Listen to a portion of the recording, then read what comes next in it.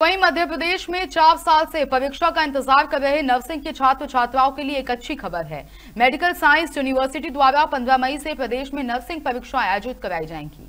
और इसके लिए मध्य प्रदेश में कुल एक सौ इक्यासी परीक्षा केंद्र बनाए गए हैं। इसके तहत ही छतरपुर ज़िले में भी विभिन्न कॉलेजों सहित वीरांगना अवंतीबाई कॉलेज में परीक्षा केंद्र बनाया गया है, जिसमें प्रथम दिवस एक छात्र छात्राओं ने परीक्षा दी।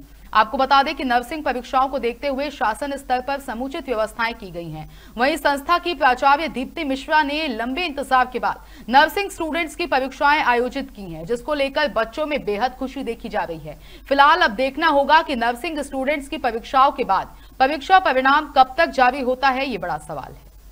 कॉलेज ऑफ़ नर्सिंग पाटन में 2020 का सेशन है मैंने एडमिशन लिया था हालाँकि ये तीन साल हो गए पर एग्ज़ाम नहीं हुए हैं। लेकिन एक महीने पहले एक न्यूज़ आई थी कि आपके यूनिवर्सिटी द्वारा कि आपके एग्ज़ाम करवाए जाएँगे वो एग्ज़ाम आज संपन्न हुआ है। बट सबसे ज़्यादा दुख इस बात का हम लोग को हम लोग का टाइम मैनेजमेंट नहीं हुआ। ये तीन साल में फ़र्स्ट ईयर हुआ तो सेकेंड ईयर कब हुआ थर्ड ईयर फोर्थ ईयर कब हुआ बस इसी बात का टेंशन और आज पेपर जो हुआ है बीएससी फ़र्स्ट ईयर नर्सिंग का हुआ है। और जो सुबह साढ़े दस से एक तीस तक का था। आ, सभी बच्चे बहुत उत्साहित थे एक उमंग से आए थे।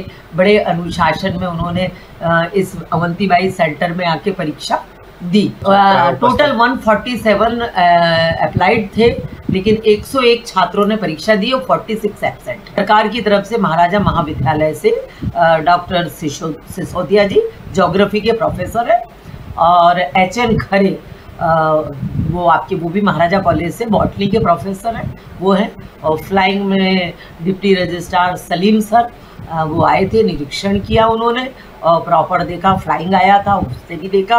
परीक्षाएँ बड़ी शांतिपूर्ण ढंग से और बहुत अच्छे उत्साह से संचालित हुई। हमको बहुत खुशी है पेपर देने के बाद। तेईस हज़ार लगभग बच्चे थे। जी। कितने बजे से पेपर आपका था? साढ़े दस बजे क्या व्यवस्थाएँ यहाँ की गई थी? अच्छी व्यवस्था है बढ़िया जी।